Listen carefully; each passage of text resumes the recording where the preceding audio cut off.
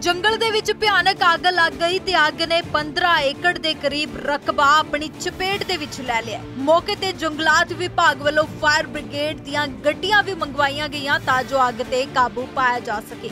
ਪਰ ਅੱਗ ਇੰਨੀ ਭਿਆਨਕ ਹੈ ਕਿ ਅੱਗ ਤੇ ਕਾਬੂ ਪਾਉਣਾ ਬਹੁਤ ਮੁਸ਼ਕਿਲ ਬਣਿਆ ਹੋਇਆ ਅੱਗ ਲੱਗਣ ਕਾਰਨ ਜਿੱਥੇ ਇਸ ਜੰਗਲ ਦੇ ਵਿੱਚ ਰੁੱਖਾਂ ਨੂੰ ਨੁਕਸਾਨ ਪਹੁੰਚਿਆ ਉੱਥੇ ਇਸ ਜੰਗਲ ਦੇ ਵਿੱਚ ਰਹਿ ਰਹੇ ਜਾਨਵਰਾਂ ਦੇ ਮਰਨ ਦਾ ਵੀ ਖਦਸ਼ਾ ਪ੍ਰਗਟਾਇਆ ਜਾ ਰਿਹਾ ਹੈ।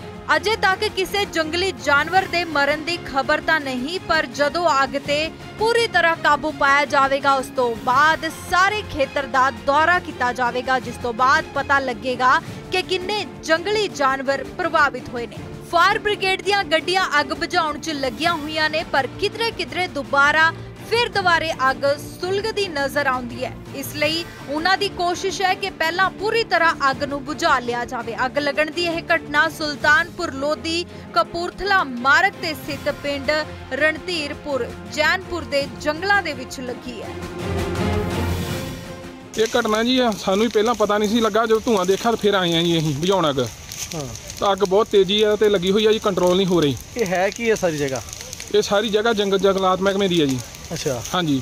ਕਿੰਨਾ ਕੁ ਰਕਬਾ ਜਿਹੜਾ ਪ੍ਰਭਾਵਿਤ ਹੋਇਆ ਹੁਣ ਤੱਕ? ਇਹ ਰਕਬਾ ਜੀ ਘੱਟੋ ਘੱਟ ਵੀ ਹੁਣ 15 ਕਿੱਲਿਆਂ ਦੇ ਕਰੀਬ ਹੋ ਗਿਆ ਜੀ। ਹਾਂ। ਤੇ ਹਜੇ ਵੀ ਕਾਬੂ ਨਹੀਂ ਪੈ ਰਿਹਾ ਜ਼ਿਆਦਾ ਨੁਕਸਾਨ ਹੋ ਸਕਦਾ ਜੀ। ਅੱਗੇ ਬਿਜਲੀ ਘਰ ਆ ਸਾਡੇ ਉੱਥੋਂ ਤੱਕ ਵੀ ਅੱਗ ਜਾ ਸਕਦੀ ਹੈ ਜੀ। ਹੁਣ ਤੱਕ ਜਿਹੜੀ ਫਾਇਰ ਬ੍ਰਿਗੇਡ ਦੀਆਂ ਟੀਮਾਂ ਕੋਈ ਮੌਕੇ ਤੇ ਪਹੁੰਚੀਆਂ? ਹਾਂਜੀ ਮੌਕੇ ਤੇ ਪਹੁੰਚੀਆਂ ਹੋਈਆਂ ਪਰ ਉਹਨਾਂ ਕੋਲ ਵੀ ਕੰਟਰੋਲ ਨਹੀਂ ਹੋ ਰਿਹਾ ਕਿਉਂਕਿ ਜੰਗਲ ਦੇ ਵਿੱਚ ਰੁੱਖ ਬਹੁਤ ਸੰਘਣੇ ਆ ਤੇ ਛੇਤੀ ਅੰਦਰ ਨਹੀਂ ਆ ਰਹੀਆਂ। ਜੰਗਲਾਤ ਨੂੰ ਅੱਗ ਲੱਗ ਗਈ ਅਚਾਨਕ ਕਿਤੇ ਜੀ? ਇਹ ਨਹੀਂ ਪਤਾ ਲੱਗਾ ਜੀ ਕਿੱਥੋਂ ਲੱਗੀ ਆ ਕੀ ਹੈ। ਤੇ 10-15 ਏਕੜ ਜੰਗਲਾਤ ਸੜ ਕੇ ਸਵਾਹ ਹੋ ਗਿਆ ਤੇ ਹਜੇ ਕਾਬੂ ਪਾਉਣ ਦਾ ਆ ਅੱਗ ਤੇ ਜੀ। ਕਿੰਨੇ ਕੁ ਵਜੇ ਦਾ ਇਹ ਵਾਕਿਆ? ਇਹ ਕੁਝ ਜੀ 12-1 ਵਜੇ ਦਾ ਜੀ। ਹਾਂਜੀ। ਕੋ ਅੱਗ ਲੱਗਣ ਦਾ ਕਾਰਨ ਸਪਸ਼ਟ ਹੋ ਸਕਿਆ? ਕੁਝ ਨਹੀਂ ਪਤਾ ਲੱਗਾ ਜੀ ਹਜੇ ਕਿੱਥੋਂ ਲੱਗੀ ਆ ਕਿਵੇਂ ਲੱਗੀ ਜੀ। ਹੁਣ ਕੋਈ ਫਾਇਰ ਬ੍ਰਿਗੇਡ ਦੀਆਂ ਟੀਮਾਂ ਮੌਕੇ ਤੇ ਪਹੁੰਚ ਹਾਂਜੀ ਹਾਂਜੀ ਫਾਇਰ ਬ੍ਰਿਗੇਡ 2 ਆਏ ਹੋਏ ਆ ਜੀ। ਪੂਰੀ ਕੋਸ਼ਿਸ਼ ਆ ਬੁਝਾਉਣ ਦਾ ਆ ਜੀ। ਕੋਈ ਹੋਰ ਵੱਡਾ ਖਤਰਾ ਦੱਸ ਰਿਹਾ ਕਿ ਬਿਜਲੀ ਬੋਰਡ ਬਿਲਕੁਲ ਲੱਗੇ ਇਹਦੇ? ਹਾਂਜੀ, ਬਿਜਲੀ ਬੋਰਡ ਲੱਗ ਗਿਆ, ਪਰ ਕੰਟਰੋਲ ਹੋ ਜਾਊਗਾ ਜੀ। ਹਾਂਜੀ ਫਾਇਰ ਆ ਗਏ ਕੰਟਰੋਲ ਕਰ ਲੈਣਗੇ ਜੀ। ਘਟਨਾ ਦਾ ਜੇ ਪਤਾ ਲੱਗ ਚੁੱਕਿਆ, ਬਸ ਅੱਗ ਲੱਗੀ, ਅੱਗ ਬੁਝਾਉਣ ਦੇ ਆ ਅੱਗ ਬੁਝਾਉਣ ਤੋਂ ਬਾਅਦ ਲੱਗਿਆ, ਪਤਾ ਕੀ ਗੱਲਬਾਤ ਹੋਈ ਹੈ ਅਸੀਂ ਅੱਗ ਬੁਝਾਉਣ ਦੇ ਆ ਫਾਇਰ ਦੀਆਂ ਦੋ ਗੱਡੀਆਂ ਮੰਗਾਈਆਂ ਸੁਲਤਾਨਪੁਰ ਲੋਧੀ ਤੋਂ।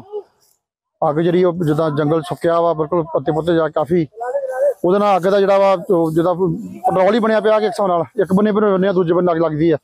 ਤੇ ਗੱਡੀਆਂ ਫਾਇਰ ਬ੍ਰਿਗੇਡ ਦੀਆਂ ਆਈਆਂ, ਬੁਝਾ ਰਹੇ ਹਨ ਕਿੰਨਾ ਕੁ ਰਕਬਾ ਜਿਹੜਾ ਹੁਣ ਤੱਕ ਪ੍ਰਭਾਵਿਤ ਹੋਇਆ? ਅੱਜ ਤੱਕ 5 ਕਿ 4-5 ਕਿੱਲੇ ਥਾਂ ਨੂੰ ਅੱਗ ਲੱਗੀ ਹੈ।